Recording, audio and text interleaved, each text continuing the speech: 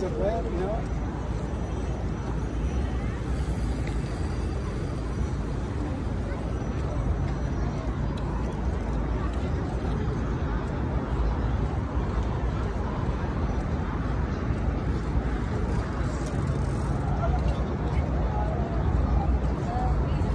Kau bisa ini kan? Kita tahu katanya itu